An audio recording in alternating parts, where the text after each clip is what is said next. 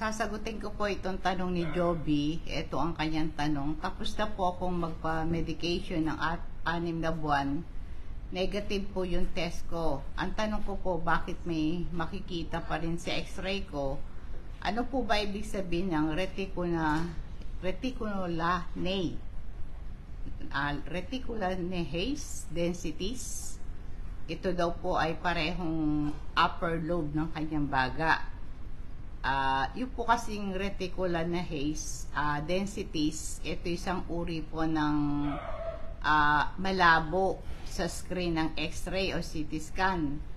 Yung napakahirap makita na dahil sa kumapal yung uh, ano yung palibot ng supot ng hangin, yung air sac sa palibot ng hangin natin, yung alveoli, uh, meron dong parang sca scaffolding na nagsusupport sa sa ating alveoli para mag-expand at mag-contract habang tayo ay humihinga.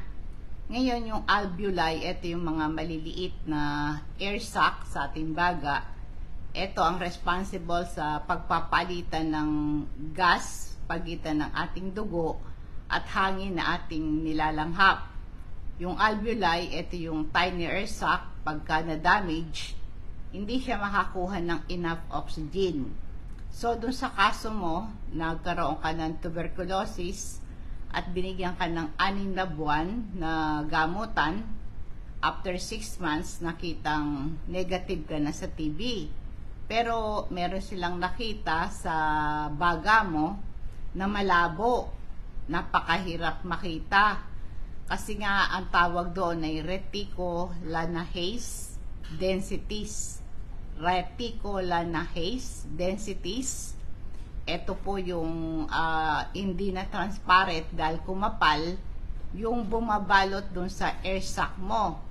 Meron parang scaffolding na nagsusupport sa air sac mo para makatulong sa pag-expand at pag-contract ng baga habang tayo ay humihinga.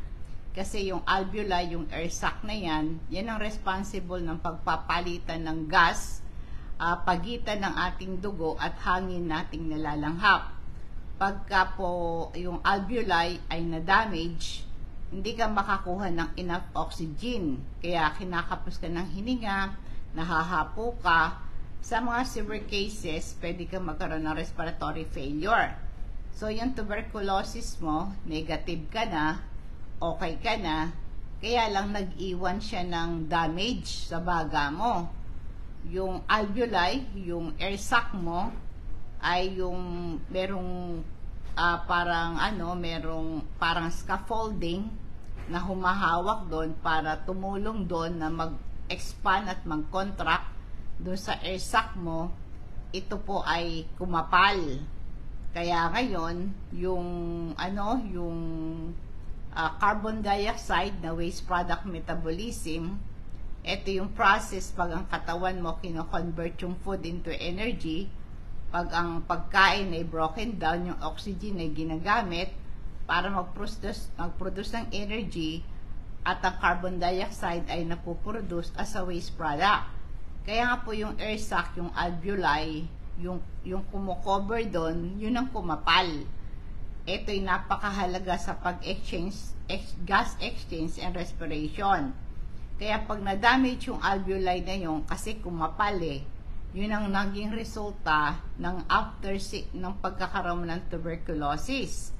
Kaya nahihirapan yung body mo na makakuha ng enough oxygen, nagkaroon ka ng respiratory problem. Kaya yung thickening ng interstitial lung tissue uh, ito'y condition na pagitan ng air sac mo, yung alveoli sa baga, kumapal at nagkaroon ng peklat. Kaya napakahirap yung oxygen na makapasok sa supot ng hangin sa baga mo papunta sa bloodstream. Kaya yung pangangapal niyan at pagkakaroon ng peklat ay yan po yung uh, ito'y sa epekto ng tuberculosis sa baga mo. Kasi ito po kasing baga, no? Nagko yung tuberculosis mo, uh, gumaling ka pero nagkaroon ka ng reticulonahase density sa x-ray nakita at CT scan. Kasi ang TB, na nagkukos ito ng inflammation at thickening ng interstitial lung tissue. Ito nga yung reticular haze densities. Ito ay common finding sa mga taong nagkaroon ng advanced tuberculosis. Maaring ikaw ay nagkaroon ng advanced tuberculosis.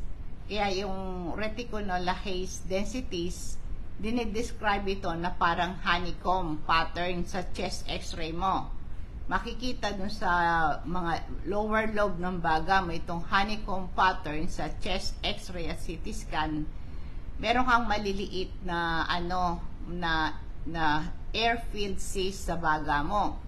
Itong mga cyst na to ay kumapal nagkaroon ng peklat. Kaya ang tawag dito ay honeycomb. Parang yung mga bees gumagawa sila ng ng ano uh, honey.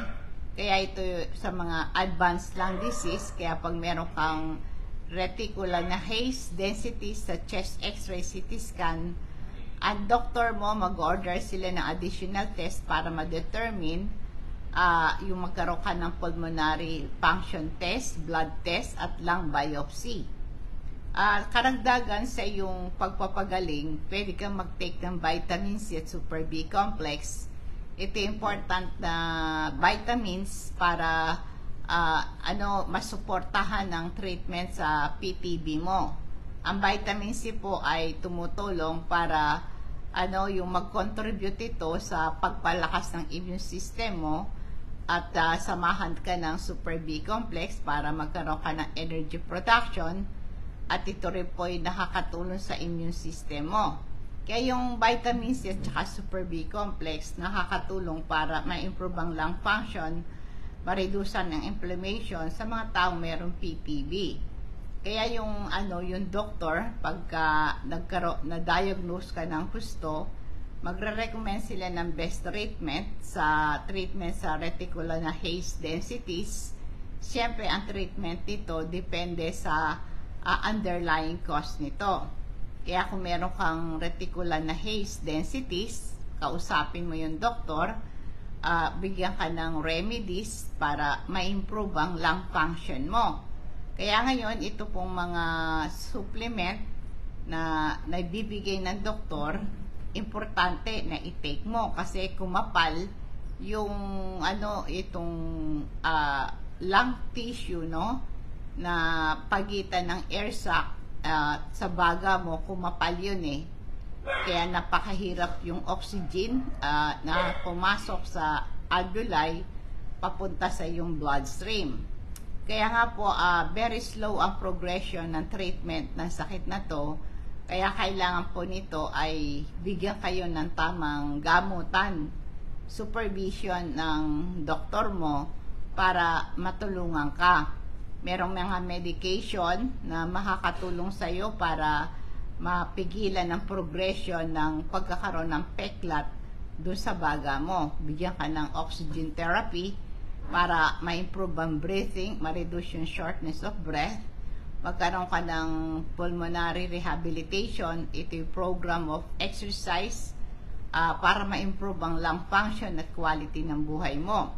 Kaya ngayon, maraming mga uh, bagay na dapat mong gawin sa pangangapal nitong uh, tissue, kumocover sa yung alveoli. Importante na iwasan mo yung usok ng sigarilyo kasi yung usok na yan nakaka-damage sa baga at lalong nagiging worse yung thickening at saka yung pangangapal na kumocover dun sa alveoli mo. Meron kang regular exercise para ma-improve yung breathing and lung function mo, importante kausapin mo yung doktor mo kung anong klaseng exercise program na gagawin mo. At kailan magkaroon ka ng vaccination paglaban sa flu and pneumonia, nagiging worse yung, ano, yung sakit mo pag wala kang protection sa pneumonia. Dapat i-manage yung mga underlying medical condition mo, uh, palakasin ang immune system mo, para hindi ka hindi ka mahirapan kasi yung pangangapal ng lung tissue mo na kumukover doon sa yung alveoli ay kailangan po nito meron kang lifestyle changes may improve ang quality ng buhay mo. Pwede kong nirekomenda sa iyo, pwede kang gumamit ng ating crystal oil uh, ito'y nakakaginhawa ng paghinga, ihahaplas mo lang to sa dibdib mo. nag improve din yung sleep quality mo, nakaka-relieve ng headache at hilo, at kung meron kang congestion para ma-improve ang respiratory health mo, haplas mo ng crystal oil yung dibdib. Pag napasok ka o na, nauntog ka para hindi ka mabukulan, pahiram mo ng crystal oil sa mga digestive system mo para maiwasan ng kabag at saka yung uh, bloating, stomach cramps at nakaka-relieve din ito ng pagduduwal at pagsusuka. Ito rin po ay isang repelling mosquitoes. Yung amoy nito ayaw ng lamok. At tanggal din ng kate pag nakagat ka. At hindi ka rin kakagatin ng lamok pag hinaplas mo yan sa balat mo. Alam mo, para ang additional tips para i-manage mo yung problema mo, health problem mo sa baga mo, meron kang sapat na pahinga, tamang pagkain, iwasan ng usok ng sigarilyo, lagi ka naguhugas ng kamay para ma-prevent ang pag-spread ng infection, yung ano, magpaaraw ka na at least uh, para ano, uh, yung mga bacteria ay mamatay, no? Ang sunlight, ito po ay nag-increase ng production ng vitamin D. Importante ito sa immune function at mapa, mapat, mapatay uh, yung malabanan ng bakterya na nag-cause ng PTB. Ang activated charcoal po natin, ito ginagamit for centuries for its medicinal properties. Ito gamot sa mga food poisoning, pang-prevent ng hangover, ito very effective sa ano drug overdose. Maganda itong pang uh, ad, pang-prevent ng ano toxin.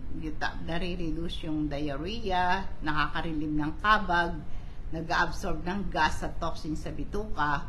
Kung ang cause ng bad breath mo ay bacteria, ito ay nagaga nawawala ang bad breath mo. Kaya nga, available to sa patnubay, no? Uh, meron tayong mga herbal na matatagpuan sa Pilipinas tulad ng lagundi.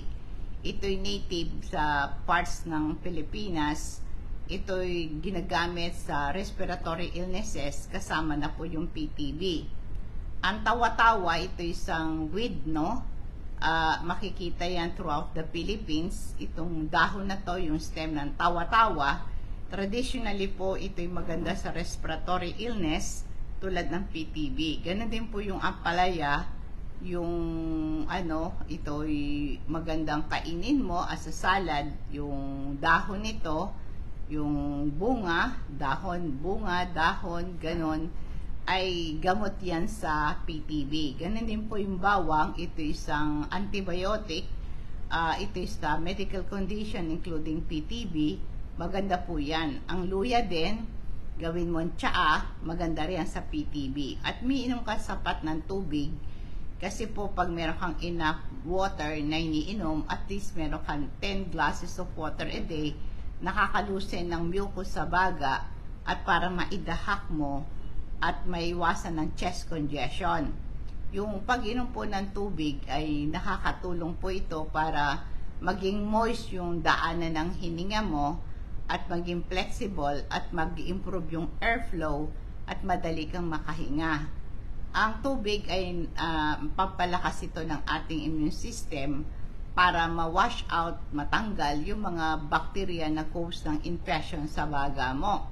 Yung amount ng water na iniinom mo, depende sa edad mo, sa activity mo, o sa o, kung ikaw ay lalaki o babae. In general rule, meron kang 8 glasses of water per day. Ito ay very effective pag papagaling sa mga merong PTB.